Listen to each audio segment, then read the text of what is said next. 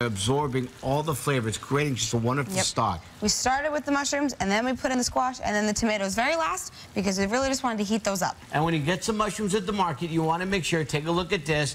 They have to be white. Very important, and make sure the membrane is being nice and covered. When you bring them home, oh, buy them in a brown paper bag. When you bring them home, store them in a refrigerator. If you buy them in a cello pack, oh, take that cellophane off it, then store it in the refrigerator. Never wash them before you store them. I think we're ready, Steph. I think we are too. We just have to let, we know you reduce it to a simmer Uh-huh. to really just let all those flavors come together for about one minute before we serve it. And now we're going to spice it up.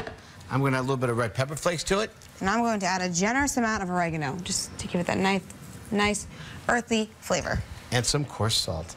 That's it. Look how beautiful that is. Yeah, so simple and healthy, too. Lots of color. Great vegetarian option. Yes. Looks good. And is there a dish you'd like Tony and Stephanie to make? Tell us about it on Facebook. Go to facebook.com slash CBS New York.